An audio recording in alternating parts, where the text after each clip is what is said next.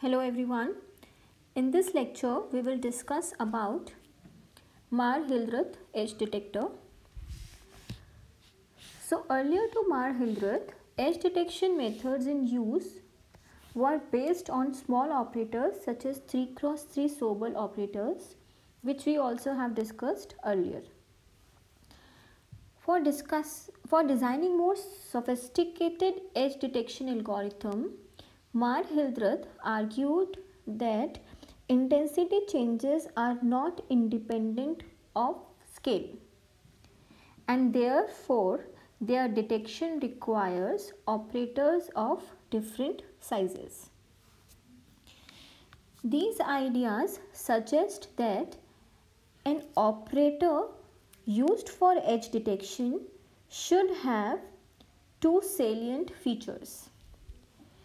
Since we have already discussed this, it multiple times that for any edge, edge detector we need a derivative operator. So the first salient feature is a differential operator which is capable of computing first or second order derivative at every image point. Second, it can act at any desired scale. Because when we zoom or when we enlarge any particular image it edges becomes blurry.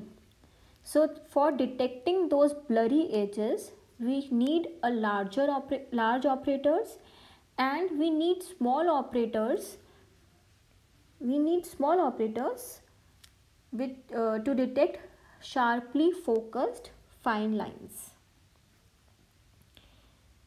now, Marr Hildreth suggested that most satisfactory operator fulfilling these salient features or fulfilling these condition is the Laplacian of Gaussian which is represented by this. In this Laplacian operator is defined by uh, two second order partial uh, order derivative and the Gaussian function is defined by this relation where uh, the sigma represents the standard deviation. Now the Laplacian of Gaussian is computed by second order partial derivative of the Gaussian function which give us this relationship. Now, the shape, this is, uh, this image shows a 3D plot of the Gaussian function. It's the Gaussian represented in form of image. This is the cross section of the negative of LOG function. These all are uh, negative of LOG function. This is 3D plot, image and cross section. Now, this uh, if you see this diagram, the zero crossings of LOG since it's a second order derivative, Laplacian is a second order derivative. So, we will have a zero crossing in this edge maps and this zero crossings give us exact location of the edge. So, in Laplacian of Gaussian, the zero crossings occur at x square plus y square by two, twice of sigma square which defines a circle of radius 2 sigma centered at the peak of Gaussian here. because LOG function is uh, since because of its shape LOG function is also called as Mexican hat operator. Here we have shown a 5 by 5 kernel that approximates the shape of this LOG function. Now this shape of LOG also depends on the value of the standard deviation. Greater the value, broader is the Gaussian filter and broader the Gaussian filter, smoothing will be more. If we smooth the images too much, all the edges will become blur and therefore the intensity changes which help us intensity changes or intensity differences which help us in determining edges will become uh, will not be sufficient to detect edges. So, the blurring should only be to reduce the noise but, also we should keep in mind that we are not blurring it too much so that edges are also becoming blur and difficult to identify.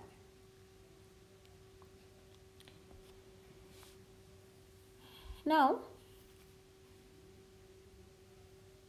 we have said that this, uh, this value, the LOG function can be approximated by any kernel of size n cross n.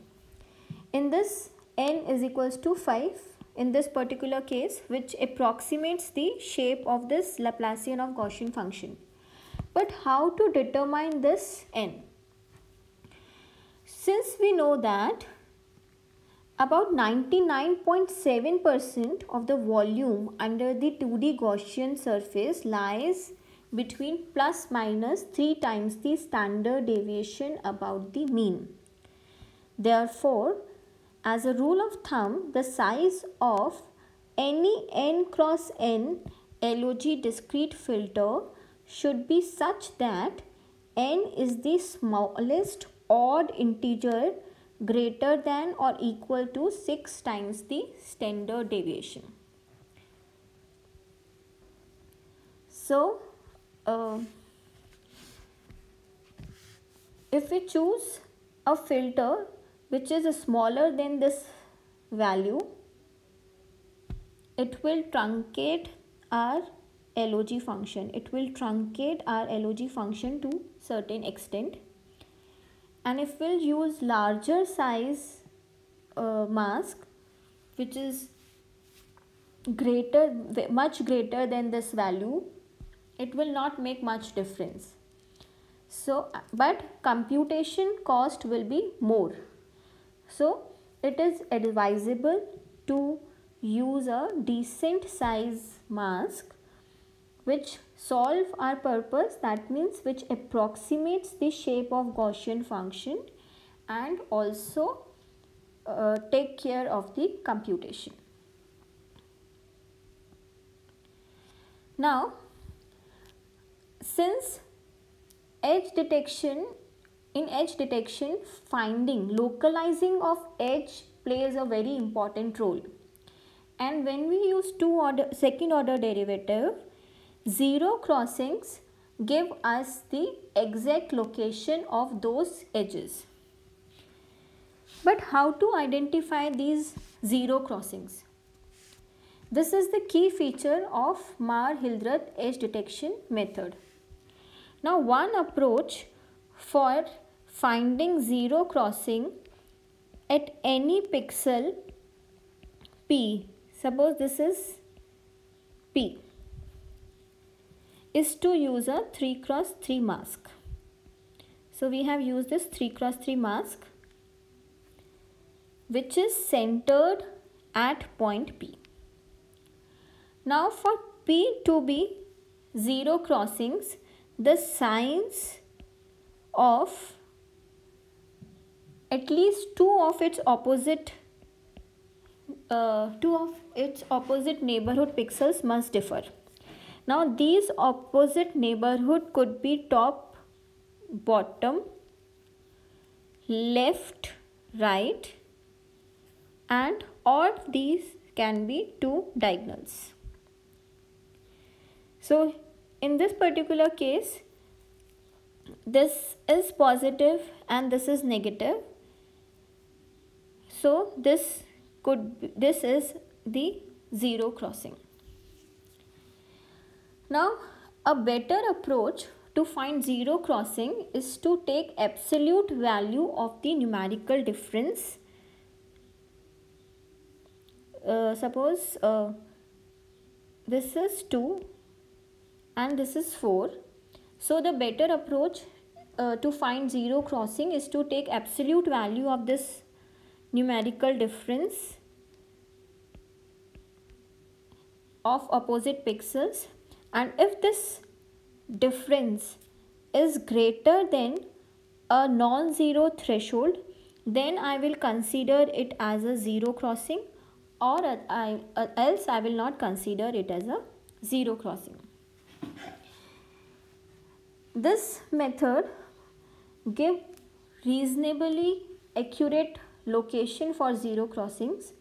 However, there are more accurate and more sophisticated methods available which give us locations of zero crossings at sub-pixel accuracies. Those methods are not in the scope of this course so which we will not be going to discuss those methods.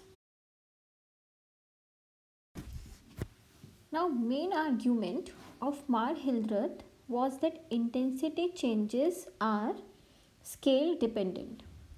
Therefore, to make edge detection scale invariant, we filter the image with varying values of standard deviation. Now for each value of standard deviation, we get a zero crossing edge map. An edge map is nothing but an image that contains only edge pixels. So for each value of standard deviation we get a zero crossing edge map. Now we retain only those edges which are common to all edge maps. Okay. So this give us a flexibility to use this uh, Laplacian of Gaussian filters with uh, with images at different scales. Now, if we want to summarize Marr-Hildreth edge detector, we can say that first get rid of noise by using n cross n Gaussian filter then and how to determine this n we have also seen that this n should be greater than or equals to 6 times the standard deviation. So once we have filtered the image using Gaussian filter, we compute the edges by filtering the image using Laplacian mask once we have all the edges, we identify zero crossings because zero crossings help us in localization of edges. That means zero crossing give us exact location of edges. Now this is the result of uh, this is the original image and this is the result of applying uh, LOG filter on this image. Since Laplacian gave us negative values as well, so this image is scaled for display purpose. Since Laplacian gave us double edges and also zero crossing, we can see that in this image the lighter values lighter shades of gray are the positive edges darker shades are negative edges and in between these two we have zero crossings so if we only consider if we localize or identify zero crossing by just checking positive and negative values uh, of opposite pixels to some center pixel p it gave us this edge map. If we take the thresholded value uh, method to localize edges or localizing identifying zero crosses this is the image we obtain in this image we can see that these edges are very fine and very thin as compared to edges we which we have obtained using second order uh, using first order derivatives like Sobel and Prewitt. So here are some of the advantages of using Laplacian of Gaussian. So if we discuss first the advantages of Gaussian separately, so uh, Gaussian operator blurs the image. That's why it get rid of noise to a certain extent. And since Fourier transform of Gaussian is again a Gaussian, uh, ringing like artifacts are not there. Now if we discuss about advantages of Laplacian, uh, we need any uh, detect any derivative operator for identifying edges. But we know that uh, if we have would have used first order derivative we know that these are directional operators. But Laplacian is isotropic. That means it responds equally to changes in intensity in any mask direction that's why we don't need multiple masks to compute strongest response in one particular direction in an image. Now advantage of using Laplacian of uh, Gaussian is that LOG filter is linear. It implies that if we convolve the LOG filter or if we convolve the image first with Gaussian and then apply Laplacian to it, we get same results.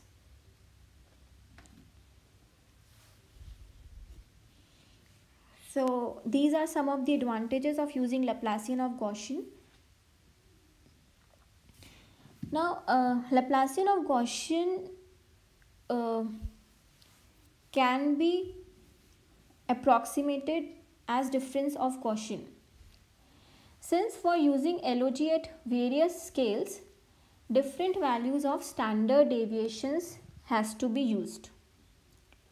So instead of using two LOG filter, uh, two LOG filters with different values of standard deviation, it is possible to approximate LOG by taking difference of Gaussians which is computed like this.